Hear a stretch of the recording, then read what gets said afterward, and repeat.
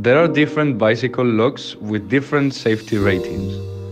There are three steps in choosing the right lock for you. Step 1. Choose the right level of security.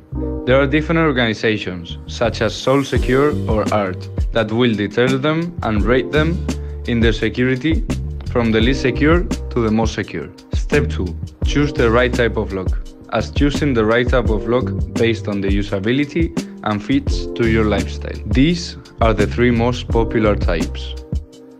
Uh, so this one here obviously is the least secure uh, and even though it's like really really thin uh, or if it's really thick it doesn't really matter. So as long as it's a cable then like anybody could cut it. Like if you have like ten dollar pliers from like beat them up like, then you can cut these like pretty easily.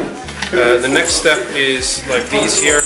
Um, really practical easy to use like pretty solid and they come in like very different um, many different thicknesses or like different types of like locking mechanism um, but they're much much stronger than the actual like uh, like cable lock so you need bolt cutters or something like something like an angle grinder to get through these. Uh, the most secure locks on the market are like something like these, which like U-locks.